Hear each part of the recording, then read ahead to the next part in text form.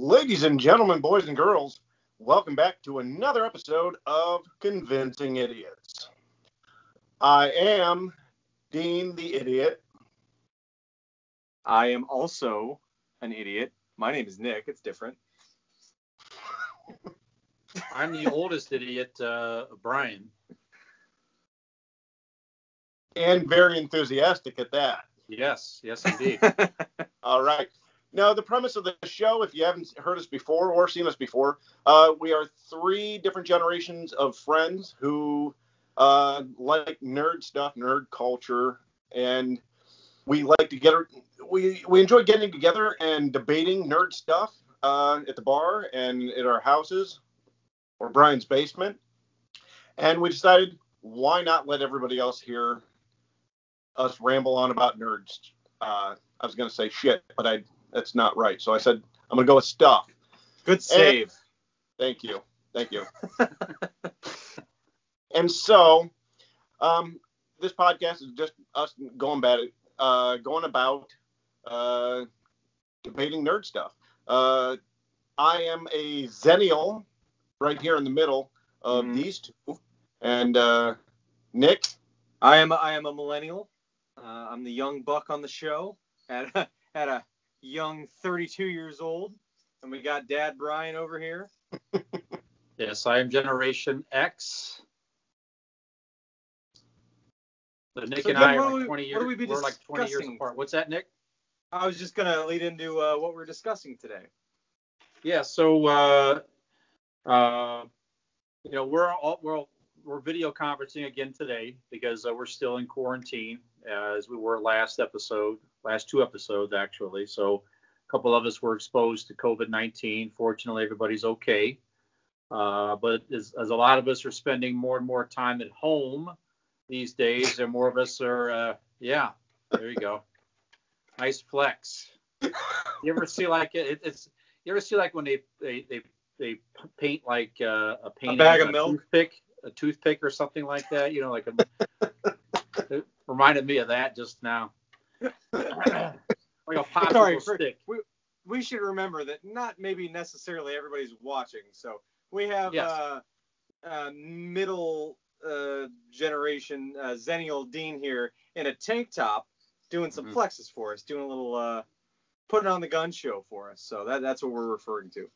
I would. Yeah, I you guys. Trying, uh, I've given you guys a show. That's all. We yeah, appreciate it.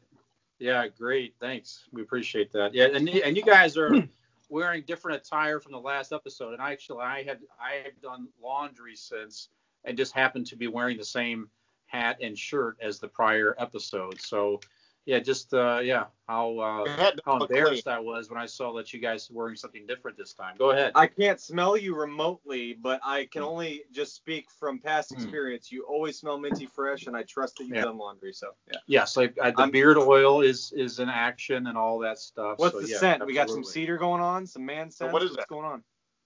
It's like uh, I, I think it's like uh, uh, whiskey breath. I think it's called. I'm okay. kidding. I don't know what this is. I, am not sure. It, it, it, comes out of his mouth and just seeps into the beard. Uh, yes, it's very natural. Whiskey drunk dribble is the name of the scent. What's that?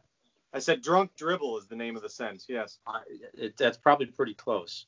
So what I was saying is that everybody's home watching a lot more TV these days. You know, yep. streaming, watching shows. We've been uh, we're big TV fans as well over the years. Uh, obviously, we grew up in different uh, generations, so TV it definitely uh, uh, means something different to the three of us growing up. You know how you're able to watch it and this and that. So, anyways, we, t- we were talking about some of our uh, uh, most memorable TV series finales, whether they be good, not so good. so that's that's what we're talking about today. So memorable finales of some longer running uh, television shows. So, yeah, Nick, what do you got on your list there, sir? What shows made your list of good, not so good, sir? Yeah, well, uh, we're gonna start from the bottom of the barrel here. So here's my thing. Um, I watch a lot of TV shows, um, mm-hmm. but some of them seem to lose my interest. I'm guilty of not finishing many of them, so I don't have a long list. Uh, but I do have a few notable ones. Um, So my my my favorite. We'll start there. Uh, my favorite TV series finale is a more recent one. Um, it's Breaking Bad. Um, I just thought that was a really well done show all the way around, and um, you know, it just they wrapped it up really well. It was a show that never failed to kind of surprise you or throw twists at you and things like that. It just left you always wanting more. So Breaking Bad did not disappoint me when it came to that. That's my favorite. Um, I have a couple of my honestly my two very favorite shows of all time. I wouldn't necessarily call them memorable endings, but I was happy and content with the way they ended. My favorite show for the longest time, uh, it's a classic uh, sitcom, Friends. I liked the way that Friends ended. It gave a nice little wrapping on everybody. There wasn't any big thing other than what you always kind of knew was going to happen. Spoiler alert: Ross and Rachel end up together. Um, but that was kind of a cool thing. My other one, which is I would kind of consider my new age friends, it's a very similar dynamic and possibly might be my favorite show. Also a sitcom, a newer one called Happy Endings. Um, if you're not familiar with it, it was on ABC for I think three, maybe four, I think just three seasons. Um, similar friends dynamic, three guys, three girls, six friends, the whole thing. Um, I loved that show uh, dearly. I was very upset it didn't last longer. Same thing there. They ended different than Friends because Friends knew that they were ending it when they headed into their 10th season. Uh, Happy Endings found out, I believe, midway through filming their third season that they were getting canceled. Why? I don't know. But they got canceled and they kind of did a nice wrap up of everything that was going on at the time. Sad to see it go, but nothing crazy. I just really enjoyed the show. Um, and then the other thing, the the other memorable one that made my list is the bad one. Again, it's a newer one, pretty popular with people. I don't know if you ever heard of a show kind of popular on HBO called Game of Thrones. Um, seven phenomenal seasons of television, phenomenal.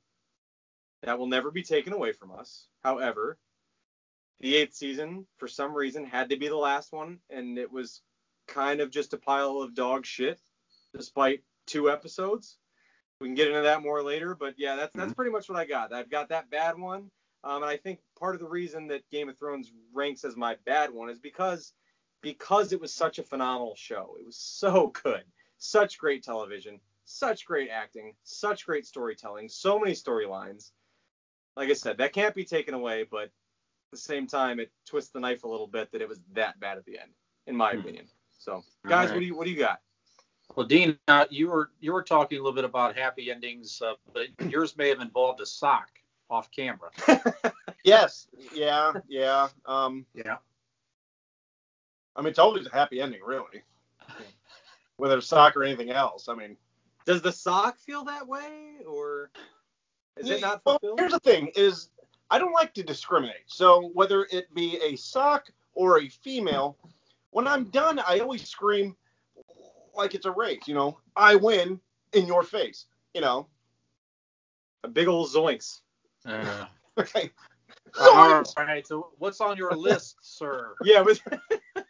Dad so, on way shows? too long. That joke went on way too long. What's on your TV list, sir?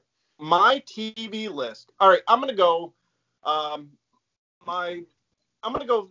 My uh, favorite TV uh, mm-hmm series finales first. Number three, because I I'm at I'm at six. Uh, number three, uh, I have Roseanne. Now, I mean, I don't know if you guys remember the end of Roseanne. The, the last season, uh, they they won the lottery, and it was just insanely ridiculous.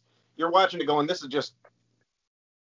It's such a departure from everything else of, of that they ever did in the in, in the previous seasons. You know, it yeah. got away from everything. And then the last episode, it turns out that that last season was all her writing a book the way she thinks her life should have went after Dan died. Hmm. So Dan had been dead for a whole season, and she, in her grief, wrote was writing a book, and that last season was was part of the book. And so I, every every sorry, I'm just yeah, go ahead. People aren't familiar, and I'm not. Um, everything up to the last season was reality, but the very Correct. last season was not reality. and then they go back and tell you. Well, there there are certain things like uh like the two the two daughters with their boyfriends uh were with the different boyfriends because she just thought it would be funner to to watch them with different boyfriends type okay. situation. And turns out that her uh, mom wasn't gay but her sister was or, or something like that. Like there were certain little things that got switched around but i thought it was a great um, kind of a twist. Um, yeah. and, and, then number two i have same as you breaking bad. Um, now i have it for different reasons than you. Uh, breaking bad to me a you're correct fantastic uh, amazing show. The writing's brilliant and the ending of the show was cool. You know, you kind of got, you know, spoiler alert, Walt laying there dead, Jesse driving who knows where, but that's not what I'm talking about. On my list for the Breaking Bad is the movie El Camino, which is the to me is the official series finale. It, it, it's that uh, it's like hour and a half, two hour movie that takes place r- literally right after. It shows where Jesse goes, and it gives you the the actual wrap up that you needed. That yes, you if you didn't see it and you watched Breaking Bad uh, finale, you're like, fantastic, that works for me. I I'm fulfilled. You know, things got wrapped up. But you watch El Camino, and it does give that extra oomph that you need. You need you do find out where Jesse goes and, and what happened what happens to him and stuff. Um, so, yeah, that that's where I stand on the uh, Breaking Bad. And now my number one series finale to me just is the best. Maybe it was because how young I was. I mean, granted, young I was, as in I was like a, an infant when or a toddler when it uh, went off the air. But I've seen every episode. I watched it with my father. Uh, it was a huge part of my life in that sense. Mash. Mm. MASH, just it just it of course the Korean War actually happened in three years, four years, and this show lasted twelve. You know what I mean? So timeline was great, but they did get to go home. And that final scene of him going up in the chopper, goodbye written on there. Let's not take into the idea that there was an aftermath. Um, let's forget about that. But MASH to me was was that feel good moment and one of the most watched things on TV in history. Mm-hmm. Hmm. Yep. So is that what you got, Dean? That that's my that's my best. I'm gonna go run through my worst real quick. Okay. I'll make this quick. N- number six, How I Met Your Mother. Brilliant show, amazing, funny as everything. But and even the last series, the, the, the the final series or the season was great. The last episode was great, but then the last couple scenes, they ex- spoiler alert, they explain, oh yeah, that's how I met your mother. Then she got cancer and died. Yeah, that's how they ended the goddamn show. Ugh. And I and then the she he goes off and gets with his friend's wife or some shit. Yeah, dog shit. Yeah, horrible. I don't horrible. like that. No, Seinfeld, one of the greatest shows on TV. Period. Hands down. I don't care what anybody says. Groundbreaking. So, last episode, it's fun. It's a fun recap. You bring back all these people. Even them being in, on trial uh, was fun because you got to see everybody again.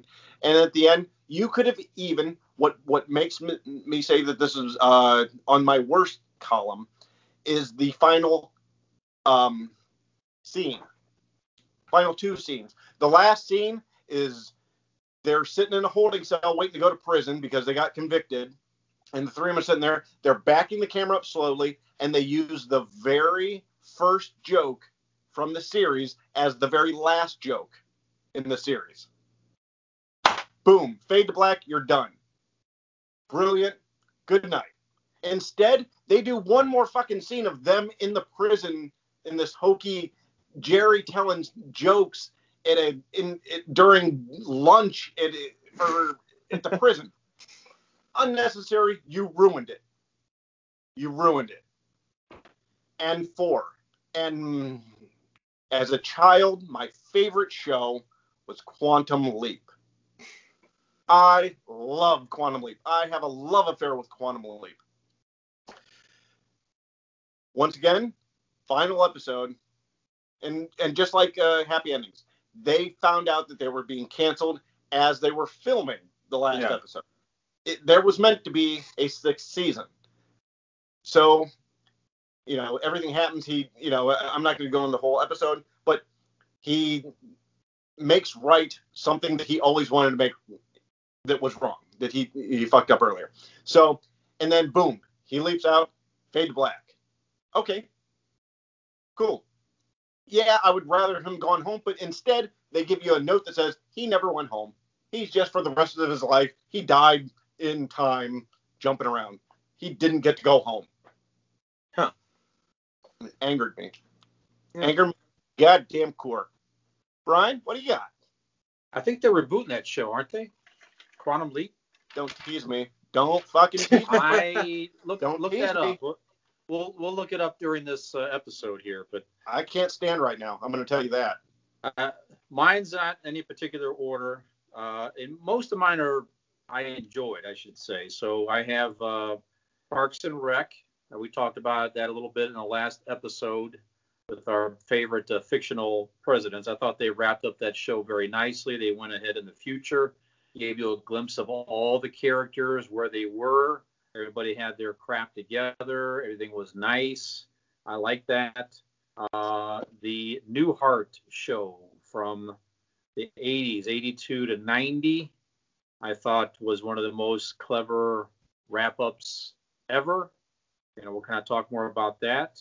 Cheers, right? Yeah. ran 1982 to 93. Uh, the whole, you know, Sam, that was the cliffhanger. Was is he going to run off with, uh, you know, Diane? She's in, she's out. She makes a return. Is he going to run off with her, or is he going to come back to the bar? That was the whole thing there. And uh, Dean, I agree with you with uh, Mash. Uh, really wrapped up that series well, and it just and we'll I, we'll get more into it, but just you kind of mentioned the the whole experience of watching television back then when we were younger is just definitely different than it is today. So we'll kind of talk about that. And then I'm kind of with you. Seinfeld, I'm sort of on the fence. One in one conversation, I think it's a pretty good ending, and other parts of it, I'm like, eh, not so sure. So we'll we'll kind of get more into that. So uh, we're coming up on uh, a, a end of our first uh, segment of this episode here, guys. So why don't we uh, take before we get more into it, let's take let's take a breath, and then we'll talk about where we have some overlaps and get more into detail why we think uh, are. Maybe we'll start with the worst. Why do you think the the worst ones? You know, what what, what uh, why do you think it's the worst and all that? And then we'll kind of end on a higher note with uh, you know why we think the or, you know, why why do we think some of some of our favorites where we have overlaps there and all that type of stuff as well. So come back. Uh, you get to hear Angry Dean. Absolutely. And we'll also look up to see if uh, Quantum Leap is indeed rebooting. We'll do some fact checking there as well. Yeah. So, all yeah. right. So we're going to take a break and we'll be right back with segment two, folks. Coming at you with the facts. You.